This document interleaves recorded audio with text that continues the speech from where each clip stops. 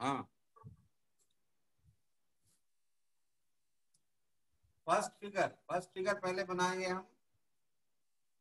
M P S M S P और जो mood है, वो उसी उसी क्रम में लिख देंगे। ए ओ ओ आप ए तर्क वाक्य को कैसे लिखते हैं? S P bar equal to zero होता है उसकी जगह यहाँ पर हो जाएगा M P bar equal to zero O तर्क वाक्य में S M bar not equal to zero इसी तरह से S P bar not equal to zero यहाँ तक प्रॉब्लम सॉर्ट आउट हो गई है सभी की? यस सर हाँ। यहाँ तक बेटा आपको हर प्रपोजिशन को लिखना आना चाहिए। इसके बाद बैंड डायग्राम जब बनाएँगे तो बार बार मैं रिपीट कर रहा हूँ आपको आपस में बराबर काटते हुए। आप जब सर्किल बना रहे हैं तो गलत बना रहे हैं।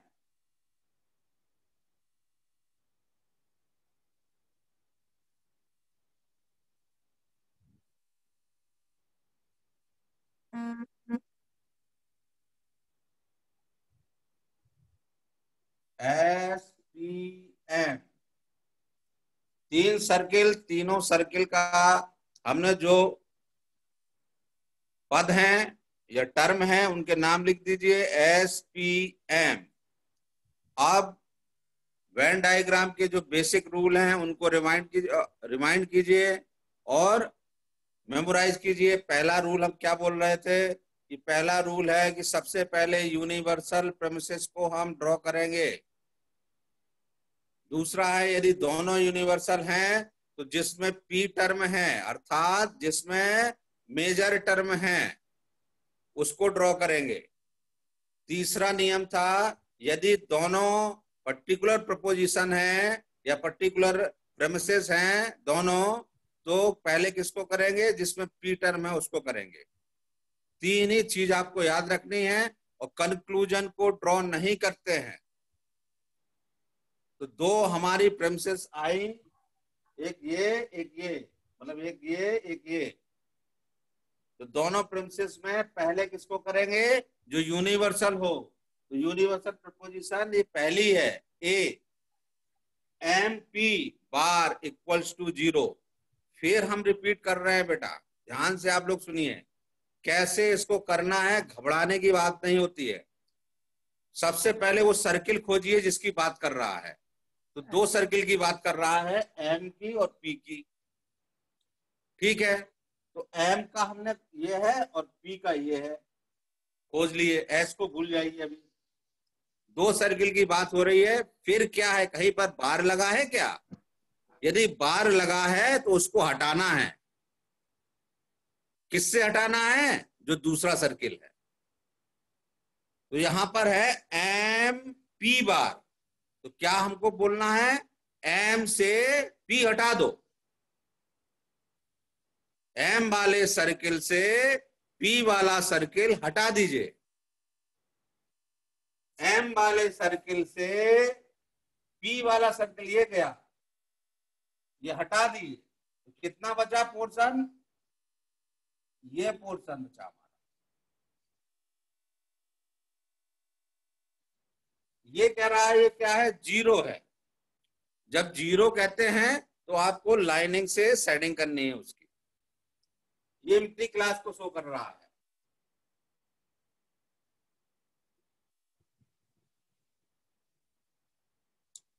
हमने ये सेटिंग कर ली। आपने सबने सेटिंग देखी? क्या हमने ये सेटिंग सही की है? नो सर नो सर हाँ वेरी गुड क्यों? क्योंकि ये पोर्शन हम छोड़ रहे हैं। तो सेटिंग हमारी ये होगी। ठीक? तो हमने ए प्रपोजिशन की सेटिंग कर दी।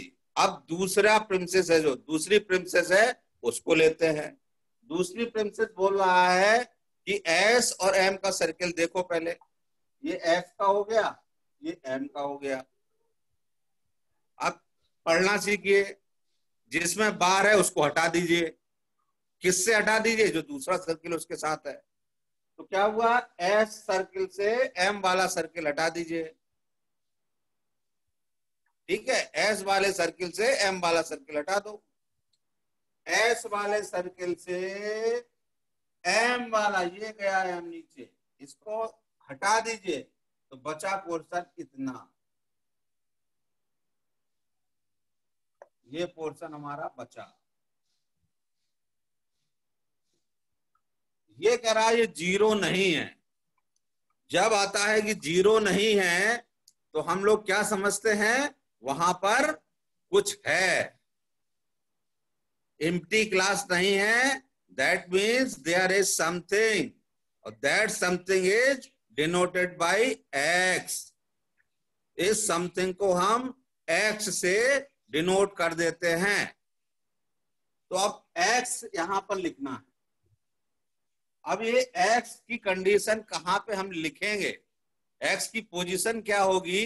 इस पे हम डाउट इसलिए थोड़ा सा हो रहा है क्योंकि एक ये वाला जो लाइन है बीच में जा रही है। तो हम एक्स कहाँ लिखेंगे? यहाँ लिखें तो प्रॉब्लम ये वाला पोर्सन छूट जा रहा है, इतना, ये भी है। यहाँ लिखें तो ये वाला छूट जा रहा है। तो ऐसी कंडीशन में हम एक्स को लाइन के बीच में लिखते हैं। ऐसी कंडीशन में कि जब डाउट हो कि एक्स इधर है या इधर लिखें तो जो बीच में लाइन आई है यदि स्पष्ट मिल रहा है आपको तो उसके बीच में हम एस की पोजिशनिंग करते थे। जब दोनों प्रेमिसेस आपने ड्रॉ कर ली तो कंक्लूजन की ओर आइए। कंक्लूजन क्या बोल रहा है सच हो रहा है कि नहीं हो रहा है, बस देखना है आप। यदि कंक्लूजन एज सच ड्रॉ हो गया है प्रेमिसेस से तो हम आर्गूमेंट को वैलिड मान लेंगे, और नहीं तो इनवैलिड मान लेंगे। एग्जैक्टली exactly जो कंक्लूजन बोल रहा है, वही होना चाहिए। Exactly exactly. सपोज़ कुछ नहीं करना है। अपने मन से कुछ नहीं करना है। बोल रहा है एस पी बार. तो कौन सा पोर्शन हुआ? एस वाले से पी वाला भाग हटा के एस वाले से पी वाला पोर्शन हमने हटा दिया तो ये ये वाला जो पोर्शन बच रहा है ये। इस पोर्शन में बोल रहा है कि ये ज़ीरो नहीं होना चाहिए। Not equals to zero means वहाँ पर एक्स होना चाहिए। तो देखिए क्या यहाँ पर एक्स है? नहीं है। ये एक्स यहाँ के बीच में है तो हमको पता नहीं इधर है या इधर है। दूसरी बात, ये इसका आधा पोर्शन इम्प्टी क्लास भी शो कर रहा है पहले से। तो जो कंक्लूजन कह रहा है, वो नहीं हो रहा है। इसलिए ये आर्गुमेंट इनवैलिड हो जाएगा। आपका A O O first figure argument is invalid अवैध है।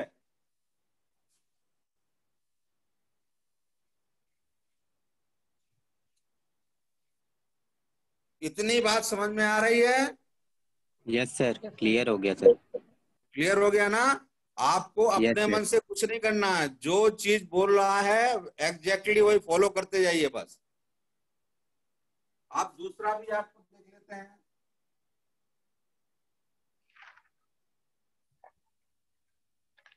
आपने बोला आई ए आई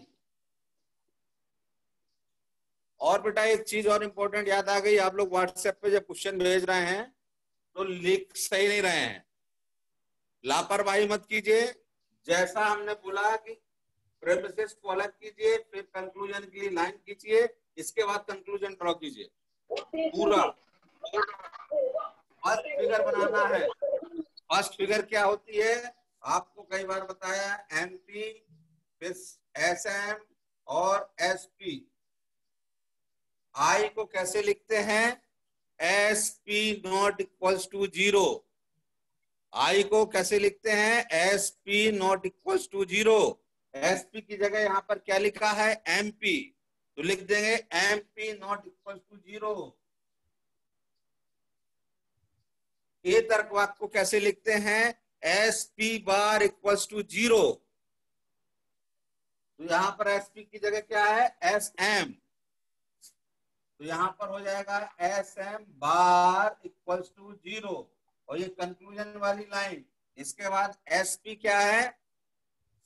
Proposition S P not equal to zero आपने ये लिख लिया, आपका आधा काम खत्म। तीन सर्कल बनाइए।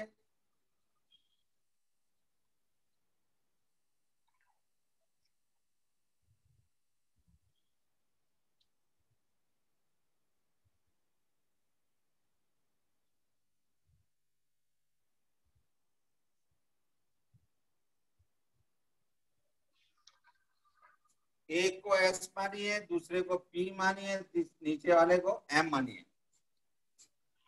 तुरंत आपको टिप्स में रूल होने चाहिए हमेशा। बैंड बैंड डायग्राम के रूल हम बार बार बोल रहे हैं आपको। सबसे पहले यूनिवर्सल यूनिवर्सल प्रिंसेस पकड़िए यूनिवर्सल प्रिंसेस कौन सी है? सेकंड वाली। ए प्रपोजिशन यूनिवर्सल है। यूनिवर्सल प्रपोजिशन क्या बोल रहा है? S M bar equal to zero उसके पहले आप क्या पढ़ लेंगे? एस और एम देखिए। एस का सर्किल देखा एम का सर्किल देखा। क्या बोल रहा है? एस वाले सर्किल से एम वाला सर्किल हटा दीजिए। एस वाले सर्किल से एम वाला, ये देखिए एम वाली लाइन गई है। ये लाइन एम वाली सर्किल इसको हटा दीजिए तो इतना पोर्शन बचा। ये पोर्शन बच गया। ये कह रहा है कि ये क्या है? ज़ीरो तो ज़ीरो इम्प्टी क्लास को कैसे आप शो करते हैं? लाइनिंग से. लाइनिंग कर दीजिए।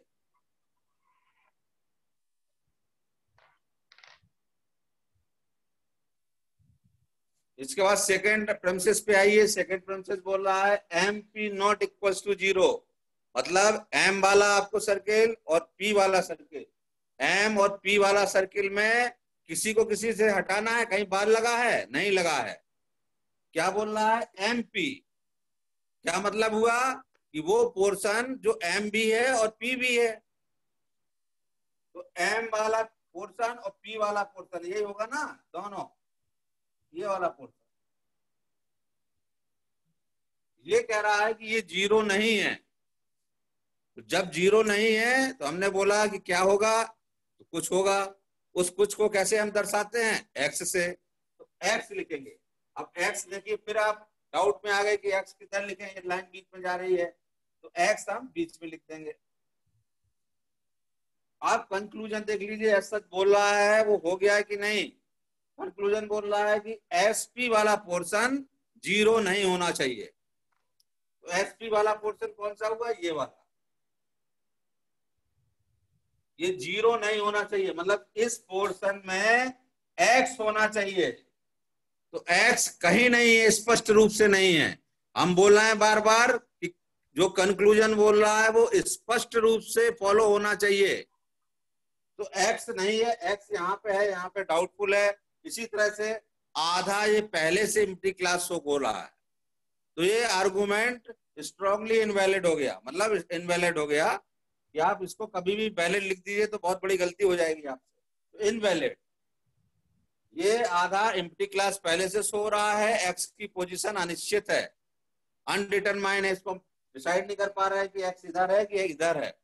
इसलिए एक्स की जो पोजिशनिंग है, वो क्लियर नहीं है, स्पष्ट नहीं है। तो आपको ऐसी कंडीशन में आर्गूमेंट आपका क्या हो रहा है? इनवैलिड ठीक है? और कोई क्वेश्चन बेटा? इसी तरह से कोई प्रॉब्लम आई हो वैन डायग्राम आप समझते रहेंगे, जब से खुद नहीं करेंगे, चार पाँच क्वेश्चन आप, आपको खुद करने हैं, वहाँ पर प्रॉब्लम आ रही है, उस प्रॉब्लम को बताइए। तब तो आप बैंड डायग्राम की प्रॉब्लम से सॉल्व आप सॉल्व कर सकते हैं उसको। आप लोगों ने कोई और समस्या हो, पूछिए। किसी भी बच्चे को केवल एक दो बच्चे ही पूछते हैं, बाकी लग रहा है सबको आ रहा है।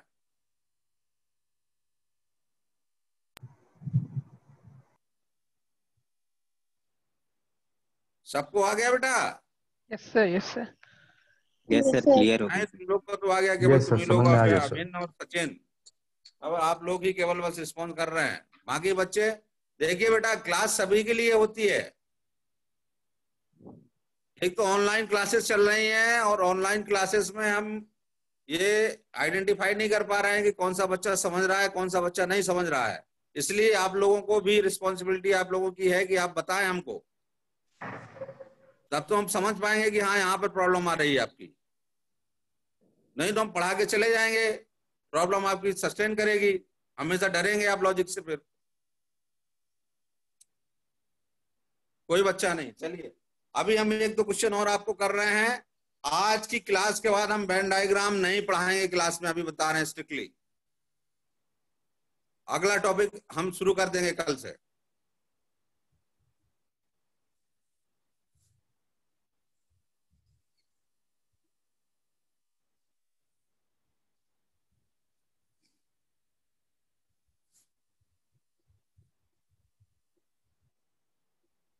चलिए, मान लीजिए हमने ई आई ओ फोर्थ फिगर आप बनाना सीख रहे हैं। कौन सी फिगर है? फोर्थ फोर्थ फिगर में क्या होगा? एम पी बनेगा पीएम बनेगा एम पी बनेगा पीएम बनेगा। पीएम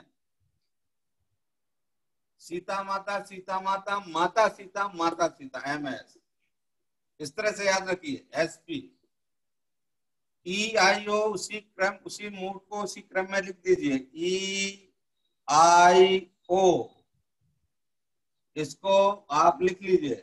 ई प्रपोजिशन को कैसे लिखते हैं वेन डायग्राम में?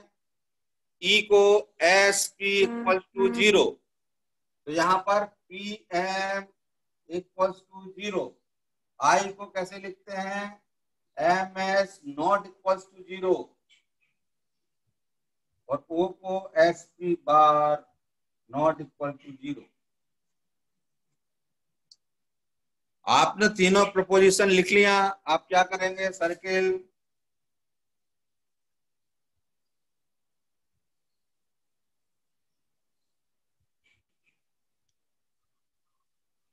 एस पी एम फिर एकदम मन में आप तुरंत आप मेमोराइज कीजिए अपने रूल को रिमाइंड स्मरण शक्ति में लाइए। सबसे पहले यूनिवर्सल प्रपोजिशन को करेंगे। यूनिवर्सल प्रपोजिशन कौन होती है? ए और ई. ई यहाँ पर है हमारी। ई प्रमसेस को कर लेंगे हम। ई में बोल रहा है P M equal to zero तो पी एम कौन सा पोर्शन हुआ? जो पी और एम का पोर्शन है कॉमन पोर्शन तो पी वाले सर्किल और एम वाले सर्किल का जो कॉमन पोर्शन है मतलब जो पीवी है और एम भी है, वो क्या है? वो ज़ीरो हमने ज़ीरो इसको सेट कर दिया। दूसरी जो रेस्ट प्रपोजिशन है हमारी, उसको कंसीडर कर लेते हैं। M S not equals to zero M S कौन सा पोर्शन हुआ? ये। जो एम भी है और एस भी है, किसी में किसी को हटाना नहीं है। बाहर नहीं है क्योंकि ये वाला पोर्शन ये कह रहा है नॉट इक्वल्स टू ज़ीरो तो not equals to zero means X तो एक्स आपको लिखना है। अब एक्स कहा लिखे तो ये तो स्पष्ट है कि एक्स हमको यहीं पे लिखना पड़ेगा। क्योंकि ये पहले से एम्प्टी क्लास शो कर रहा है। तो वहाँ पर तो आप इंटरफेयर कर नहीं सकते। इसलिए एक्स स्पष्ट रूप से अलग लिख देंगे।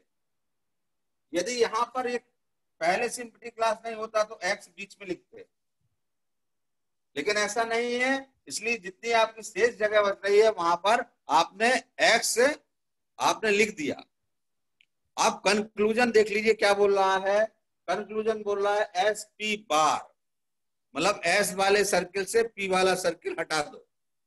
एस वाले सर्किल से पी वाला सर्किल हमने हटा दिया। इतना पोर्शन बचा है। ये कह रहा है कि इस पोर्शन में क्या होना चाहिए? ज़ीरो नहीं होना चाहिए मतलब एक्स होना चाहिए। एक्स है। एक्स है। पूरा स्पष्ट रूप से एक्स है। इसलिए ये आर्गुमेंट वैलिड आपका ई आई ओ फोर क्या हो गया? वैलिड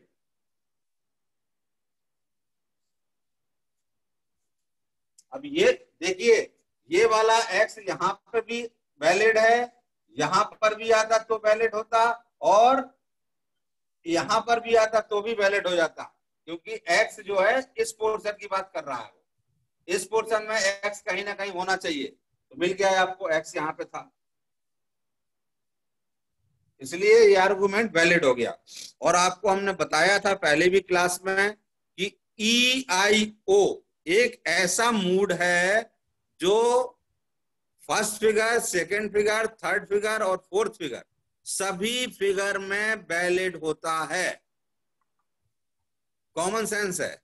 यदि ई आई ओ मूड का किसी भी फिगर में आप, चाहे वेन डायग्राम हो, चाहे फेल्सिस हो, कुछ भी आप निकाल रहे हैं तो आप गलती कर रहे हैं। इनवैलिड निकल रहा है तो। वैलिड आ रहा है तो आप सही कर रहे हैं। अब इसके अलावा भी वैन डायग्राम से संबंधित कोई भी प्रश्न थ्योरी वाले प्रश्न हमने आपको बताए हैं। कहिए तो एक आध दो और कंसीडर कर लेते हैं आपके लिए। एक और थ्योरी वाला करते हैं आज। यस yes, सर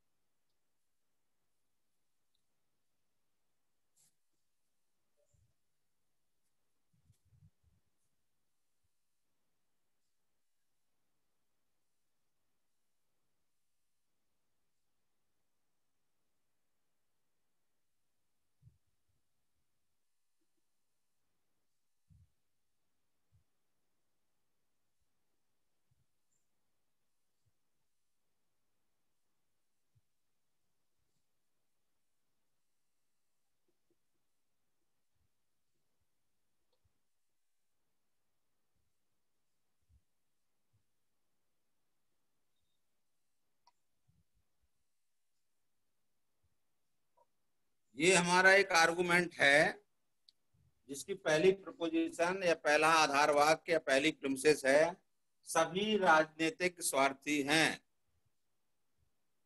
दूसरा जो प्रमिसेस है, वो है कुछ लेखक स्वार्थी हैं, और तीसरी जो है, कुछ लेखक राजनीतिक हैं। जब कभी आर्गुमेंट के रूप में मतलब लैंग्वेज जब हो तो उसका आपको सब कुछ पता करना है।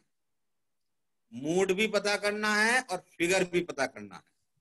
और जब फॉर्म दिया होता है, आर्गुमेंट फॉर्म दिया होता है, जैसे ई आई ओ थ्री तो आपको मूड भी पता हो गया और फिगर भी पता हो गई। लेकिन इसमें आपको मूड भी पता करना है और फिगर भी पता करना है। तो मूड क्या है? जो क्रम है, आधार वाक्य और निष्कर्ष का, वो और जो फिगर निकल के आएगी, वो फिगर। तो सबसे पहले हम आधार वाक्यों की पहचान कर लेते हैं। आइडेंटिफाई कर लेते हैं कि कौन से आधार वाक्य हैं। तो सबका आप बहुत सिंपल से हैं। पहला आधार वाक्य कौन सा है? सर सर इंग्लिश में भी बता दीजिए। क्या? All politician all politician are self centred सभी राजनीतिक स्वार्थी हैं। ठीक है? दूसरा प्रपोजिशन है सम लेखक writer some writers are self-centered therefore conclusion है some writers are politician ठीक है तो पहले में all politician are self-centered दूसरे में some writers are self-centered conclusion में सम राइटर्स आर पॉलिटिशियन तो पहला वाला प्रपोजिशन क्या निकल के आई? बोलिए। ए। ए है सर। ए हाँ, सर। ए। पहली वाली प्रपोजिशन ए इंग्लिश में और था हिंदी में सभी। दूसरी वाली proposition I I I I very good कुछ है। और तीसरी वाली? आई आई कंक्लूजन देखिए हमने लाइन ड्रॉ की। आप लोग लाइन नहीं ड्रॉ कर रहे हैं। कंक्लूजन को बाइफरकेट नहीं कर रहे हैं कि वो कंक्लूजन है। ये हमारा मूड निकल के आ गया। अब फिगर हमको निकालनी है। तो फिगर निकलना बहुत आसान। निष्कर्ष का एस पी देखिए।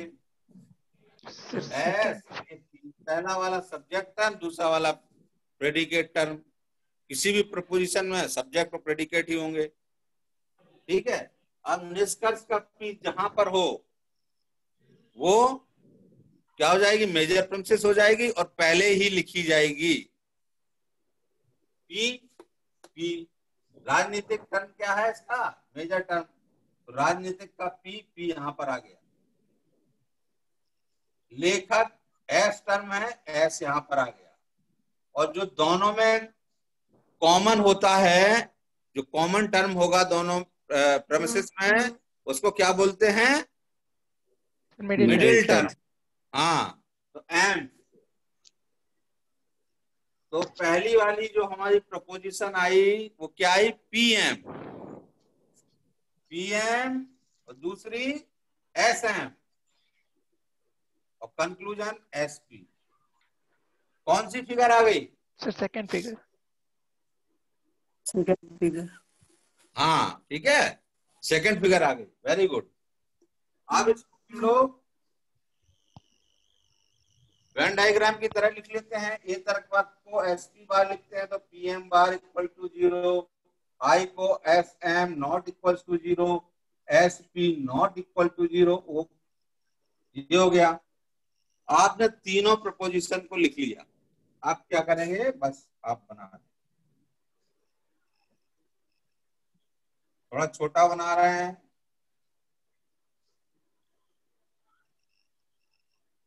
पहले को एस दूसरे को पी, तीसरे को एम।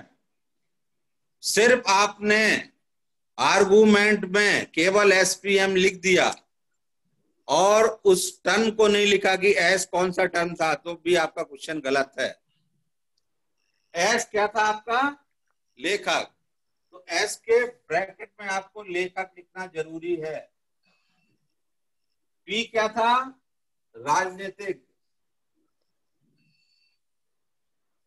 और एम क्या था? स्वार्थी। ये लिखना बहुत ज़रूरी है। यदि आर्गुमेंट है, क्वेश्चन में, लैंग्वेज में है तो।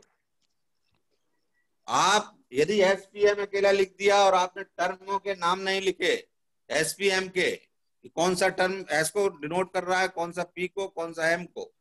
तो आप क्वेश्चन आपका गलत हो जाएगा, भले ही आपने पूरा प्रोसेस सही अपनाया हो। इसलिए मैं बार बार आपको बोल रहा हूँ कि जो बोल रहा हूँ, उसको ध्यान से सुनिए और उसको एकदम एग्जामिनेशन में गलती मत कीजिएगा। आपने तीनों टर्म लिख दिए, अब आपको कुछ नहीं, आप पुराने प्रोसेस में आ जाइए कि सबसे पहले हम यूनिवर्सल प्रपोजिशन को करेंगे। यूनिवर्सल प्रपोजिशन क्या है? यूनिवर्सल पहली है ए पी एम बार क्या बोल रहा है? पी एम बार पी से एम को हटा दो। पी से एम को हटा दो।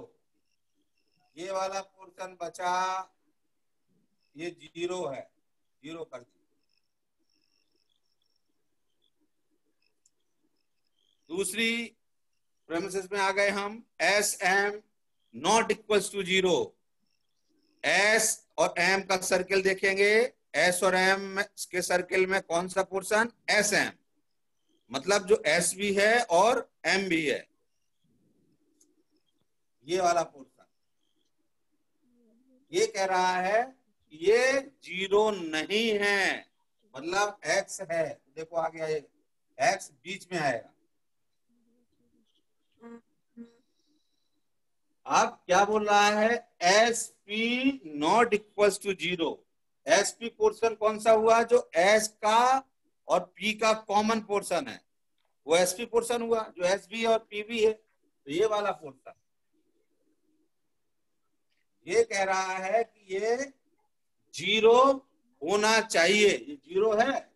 जी sorry not equal to zero zero नहीं होना चाहिए। मीन्स एक्स होना चाहिए इस पोर्शन में। लेकिन ऐसा नहीं। एक्स की ये वाली पोजीशन जो है वो भी डाउटफुल है कि एक्स इधर है या इधर है। और ये आधा पहले से ही ज़ीरो है।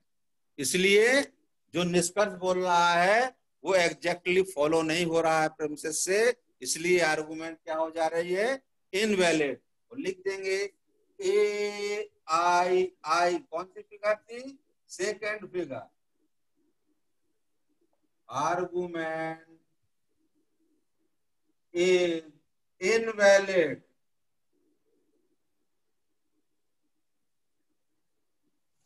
ये भी लिखना ज़रूरी है, फिगर भी। मूड और फिगर लिखना ज़रूरी है। A I I second figure argument is invalid ठीक है? देखिए, आप ज़्यादातर आपकी जो आर्गुमेंट आपने किए या आर्गुमेंट फॉर्म वाले क्वेश्चन किए, वो क्या है? इनवैलिड शो हो रहे हैं। वैसे भी जब हमने शुरुआत में क्लास की थी तो बताए थे आपको कि जब हम चार फिगर और चार प्रपोजिशन का कॉम्बिनेशन परमिशन करेंगे तो कुल 256 मूड्स बन जाते हैं। उन 260 256 मूड में केवल और केवल कितने वैलिड मूड हैं? 19 तो 19 ही केवल आपको वैध विन्यास मिलेंगे। मूड के 19 मूड ही वैलिड मिलेंगे। तो ई आई ओ के चार हो गए और बाकी जो आपको मिलेंगे, जो हमने बार बार आसिलारेंट टारी, ये सब बता के लिखवाए थे कि फ़र्स्ट फिगर आएगी तो केवल चार मूड है। आप क्रॉस चेक करते रहिए वहाँ से। आप वैन डायग्राम भी जब बना रहे हैं तो आपने देखिए जो हमने लिखवाए थे, फ़र्स्ट फिगर में कौन कौन से वैलिड मूड है, केवल वही वैलिड होने चाहिए। सेकंड फिगर में केवल वही वैलिड है। यदि आप सेकंड फिगर में उनके अलावा कोई और आप वैलिड कर दे रहे हैं तो मतलब आप प्रोसेस में गलती कर रहे हैं। कहीं ना कहीं आपने गलती की है। वो ब्रह्म सत्य है, जो हमने जो आपको लिखाए गए हैं, या जो बताए गए हैं, जो बुक में है, नाइनटीन रूल की फ़र्स्ट में चार, सेकंड में चार, इस तरह से जो हमने पूरे आपको बताए थे, और नहीं आपने लिखे हैं तो हर बुक में है। चाहे वो हिंदी की हो और चाहे इंग्लिश की हो। हर बुक में है, किसी बच्चे से शेयर भी कर सकते हैं, हमने शेयर भी किया था। आप बोलेंगे तो पर्सनल भी शेयर कर देंगे, कोई प्रॉब्लम नहीं। ठीक है? तो उससे आप एक वेरीफाई करने के लिए कि ये फिगर हमने निकाली तो हमारी वैलिड हो रही है इनवैलिड हो रही है। तो कैसे पता चला कि वैलिड और इनवैलिड है कि नहीं है? तो आप डाउट अपना दूर वहाँ से कर सकते हैं कि सेकंड फिगर का आर्गुमेंट बनाया है आपने। तो सेकंड फिगर में जो मूड आपने लिया वो मूड वहाँ पर वैलिड है कि नहीं है? वहाँ पर वैलिड है तो आपका भी वैलिड आ रहा है तो ठीक है ओके है। यदि डाउटफुल हो रहा है तो इसका मतलब आप कहीं ना कहीं गलती कर रहे हैं। तो ठीक और इसके अलावा बैंड डायग्राम की लास्ट प्रॉब्लम बताइए कोई समस्या हो तो।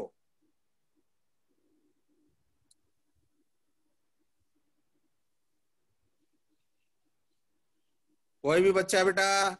सर हाँ? सर एक बार ए ई थ्री बता दीजिए। ए ई थ्री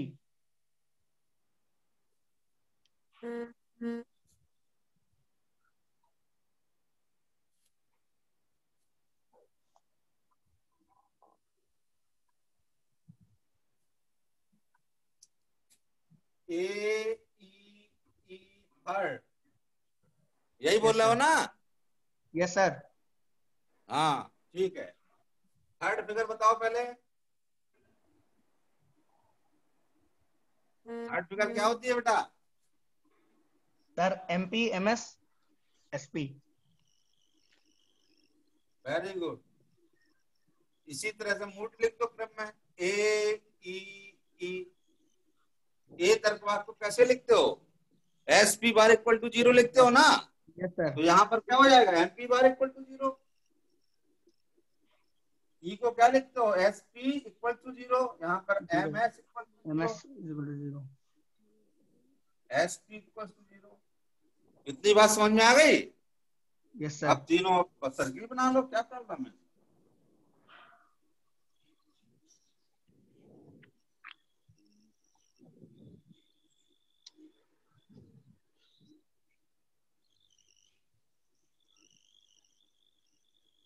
एक एस मानो एक बी मानो एक एम मानो। तुरंत वेन डायग्राम के रूल दोहराओ कि सबसे पहले यूनिवर्सल का प्रपोजिशन को हम कंसीडर करते हैं। तो यूनिवर्सल कौन कौन सी होती है? ए और ई ए और ई यहाँ दोनों हैं। पहला नियम अप्लाई ही नहीं हुआ। तुरंत दूसरे दूसरी की तरफ़ बढ़ जाओ। दूसरा क्या कहता है? यदि दोनों यूनिवर्सल है तो किसको करोगे? जिसमें पी है। ठीक है? पी किसमें है पहले वाले। तो अब पहले इसी को बनाओगे। Yes sir M P bar क्या मतलब हुआ? एम वाले से पी वाला हटा दो। बेटा इतनी लोकल लैंग्वेज में हम पढ़ाते हैं कि सब दिमाग में घुस जाना चाहिए। यस सर हाँ ये मतलब नहीं है कि हम इतनी तरीके से आप किताब में और कोई नहीं बताएगा कि इसका मतलब क्या हुआ। एम वाले से पी वाला हटा दो बार जिसमें लगा है। तो एम वाले से पी वाला हटा दो। हटा दिया हमने पी वाला यहाँ से। बचा इतना एम ये वाला एम बचा? यस सर ये कह रहा है ये ज़ीरो है तो ज़ीरो के लिए लाइनिंग खींचनी है। पहली हमने प्रेमिसेस आपको ड्रॉ कर दी। अब दूसरे Yes, की और आइए। M S equal to zero तो क्या करना एम और एस वाला सर्किल देखो तीसरा वाला भूल जाओ। एम वाला और एस वाला हमने देखा। और क्या बोल रहा है? एम एस किसी में बाहर नहीं लगा किसी को किसी से नहीं हटाना है। सर तो एम एस का मतलब दोनों जो एम भी है और एस भी है। तो ये वाला पोर्शन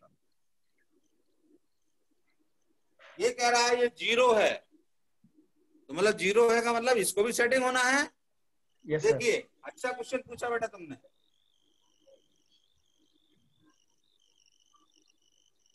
ये हो गई? यस सर ज़ीरो दर्शा दिया कि गलत दर्शाया? गलत है सर। हाँ गलत है। क्यों? इसको भी पूरा आपको बनाना है। ये हुआ हाँ सर क्रॉस नहीं है। हाँ यहाँ पर आपकी जो चेक आएगी क्रॉस क्रॉस चेक आएगा इतने पोर्शन में। ये सही सही हुआ। अब इसके अलावा बोल रहा है कि कंक्लूजन देख लीजिए। कंक्लूजन बोल रहा है S P equal to zero होना चाहिए। एस पी वाला पोर्शन ये हुआ ये ज़ीरो है नहीं है आधा है।